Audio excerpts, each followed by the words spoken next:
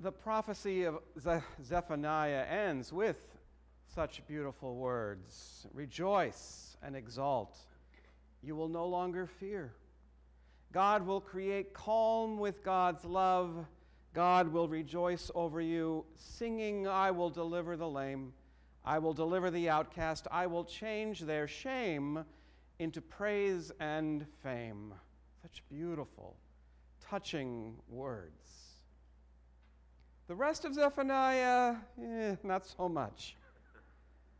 From its first words at the beginning until these last six verses, the central message of Zephaniah is that the wrath of God will result in the total destruction of the entire earth.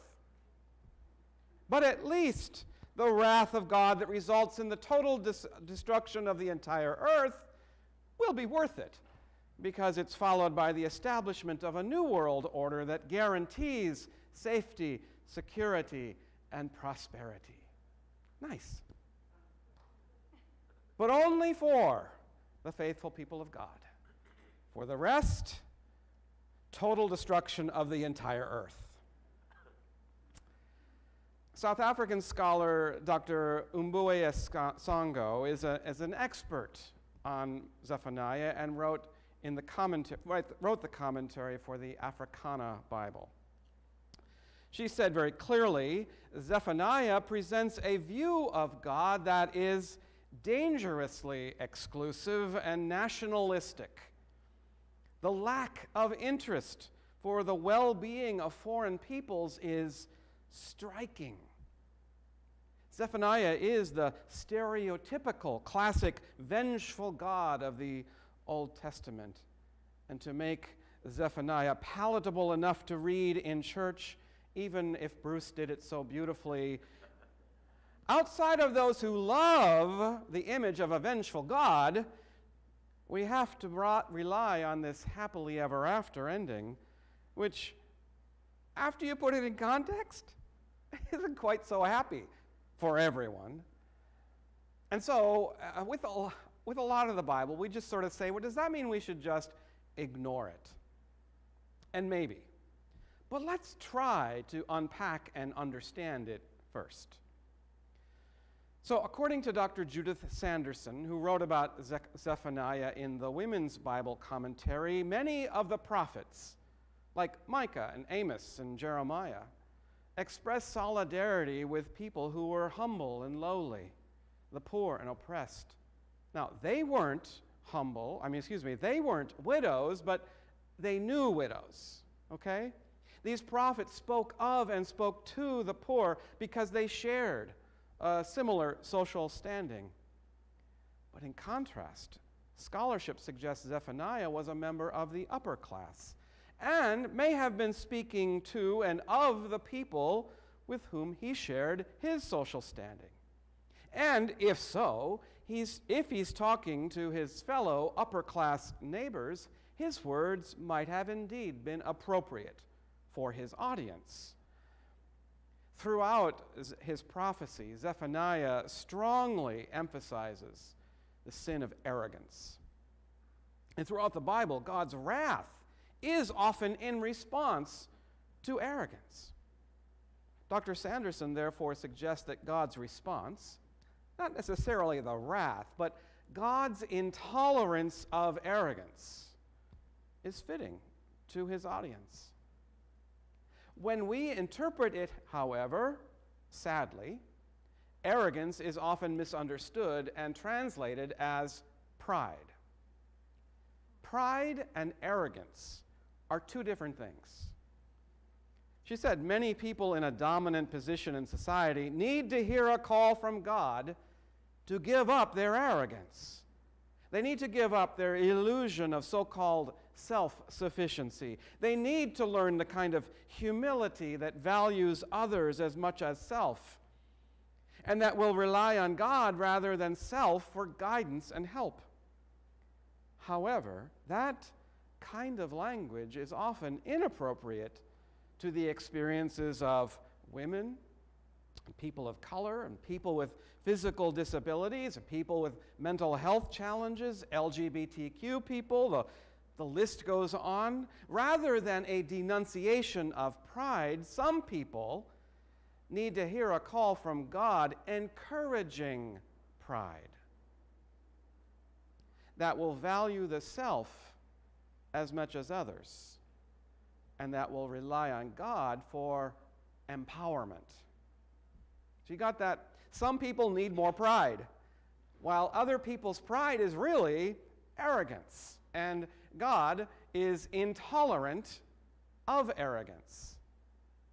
When Mary sang the Magnificat, that was kind of her message too. With the impending birth of her child, she praised God for toppling the powerful from their thrones and lifting the humble high. Dr. Umboye Ssango says something similar, relating that the Bible in southern Africa has been used both as a book of oppression and a book of liberation. And both themes, she said, run through Zephaniah.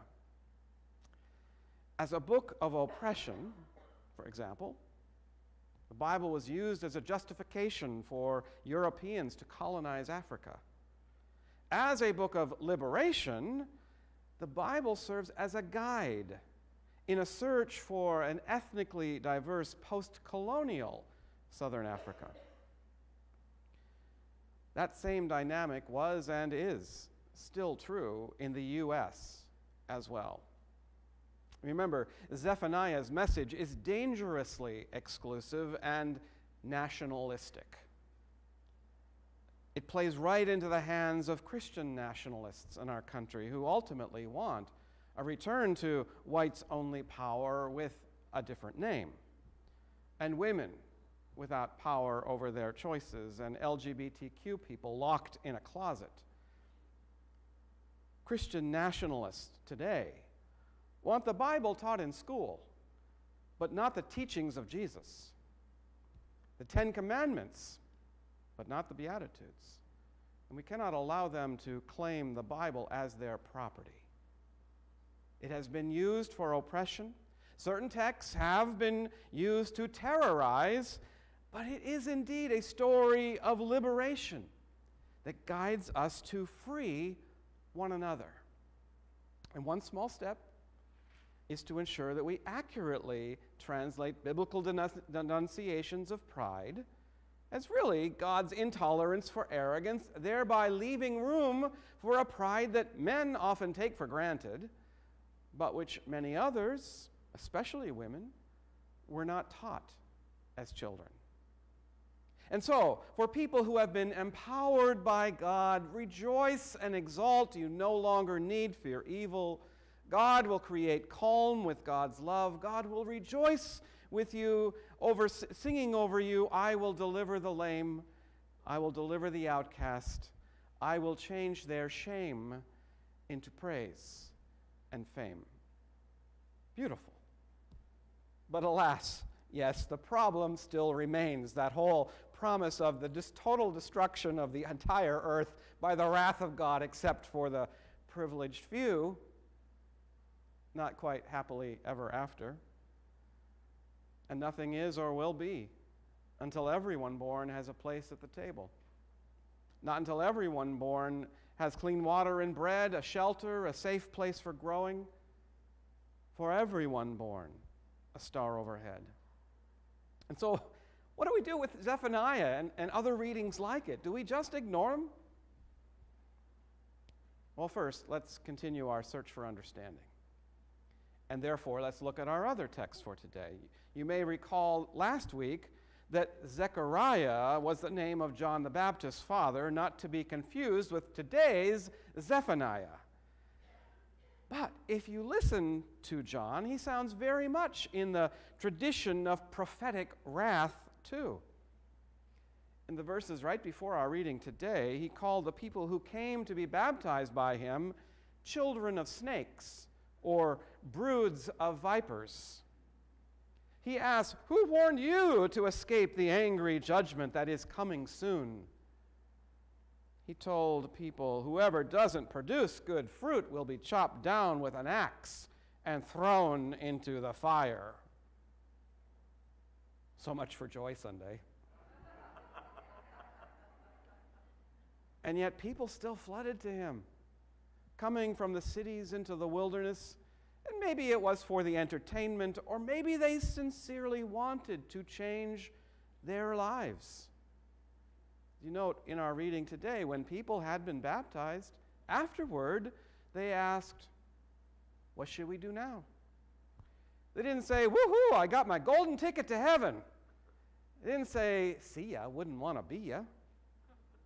They sincerely asked, Okay, now what?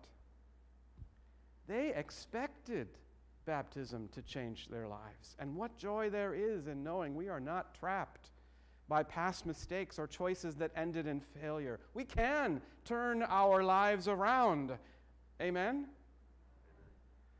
When the crowds ask, What should we do now? John gave an answer. In fact, a concrete, I can do that answer. To everyone, he said, If you have two coats, give one to someone in need. I can do that. And what joy for the one who gives. What absolute exaltation for the one who receives. How sad for anyone who won't. Ah, but they too can change their lives. Then the soldier stepped up and asked, What should we do? And John answered very concretely Don't cheat or harass anyone and be satisfied with your pay. Now, this isn't a slogan for low wage workers. This isn't the proclamation of a CEO making a hundred or a thousand times minimum wage. The Bible says, be satisfied with your pay. Now, John was specifically addressing soldiers from the occupying force stationed in their homeland. Be satisfied with your pay doesn't mean means don't take what isn't yours. And you have to think the soldiers didn't have a lot of choices either. I mean, I doubt Rome had a strategy for recruiting other than rounding up people and forcing them to serve the empire. In fact, they often used conquered people to conquer and subdue more. But John had a specific, simple message to soldiers who wish to change their lives don't exploit the citizens. Then the tax collector stepped up. What should we do? And John said, Take what's legitimately yours and no more. Many were raping the poor, others were just trying to make a living too.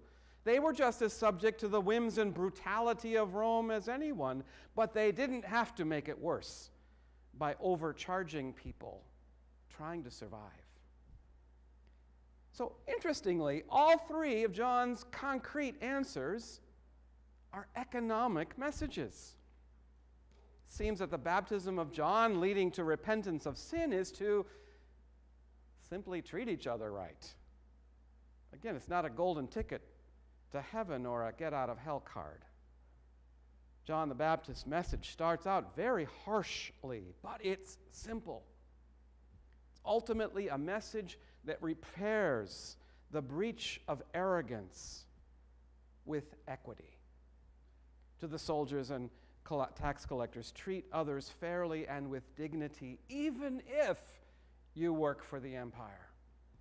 To everyone, bear fruit worthy of your baptism. If you have it, clothe the naked, feed the hungry. Give voice to the silenced and silence the powerful. Give pride to the oppressed and remove the control of the arrogant. And on that one point, Zephaniah is right. He calls out the arrogant.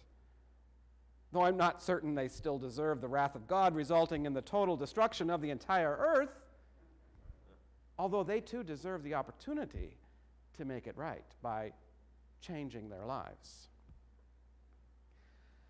But as for the rest of Zephaniah's message, don't just ignore it, reject it. Reject it and all the false religion today of Christian nationalists and their xenophobic white power, immigrant hating masquerade of Christianity. What a sad, sad vision they have. Reject it. And rather hold up a vision of joy and exaltation of a home for everyone born, wherever they have been born. That's true joy in heaven on earth. Today, I ask you, step up and say, Hey, John, what should we do? And whatever he says to each of us individually, remember, he talked to people not as a global all, but what were their needs. As he talks to each of us individually, I'm sure he has a specific and simple message to which we can answer, I can do that. Amen.